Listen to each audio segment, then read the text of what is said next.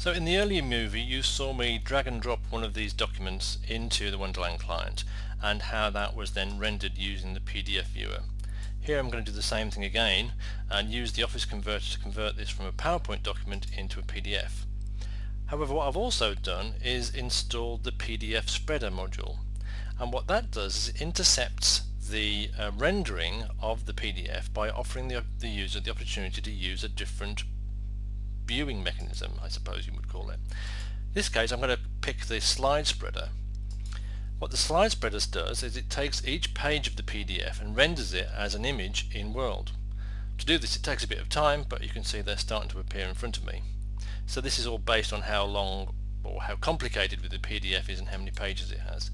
So here we are, here's the PDF that I've just dragged and dropped from a PowerPoint document rendered in front of me in a very long line stretching into the far distance.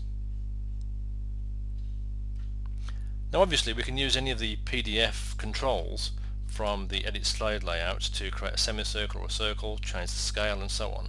So we're using this as an opportunity to interface from a regular Microsoft Office document into the PDF spreader without having to go through any intermediate stages. That's it.